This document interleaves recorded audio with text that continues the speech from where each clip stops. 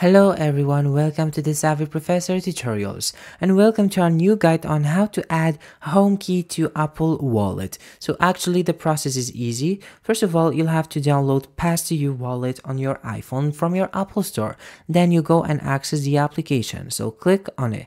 Then here in the search bar, you click on Home Passes. So if you want to add your home key, just go and search for templates. Now here we have this, uh, you know, template that is for GHC Home pass so actually this is the only template that you'll find for homes so you'll have to use this one. So click on it from here. And what you can do is simply to scan the code on your home key from here then click on done from here. So check the template you know to make sure that your barcode is added and click on add from here. Next thing to do you go to your wallet to check and you'll be able to find it. Here is your code. Thank you so much for watching this video. I'll see you soon on our next tutorial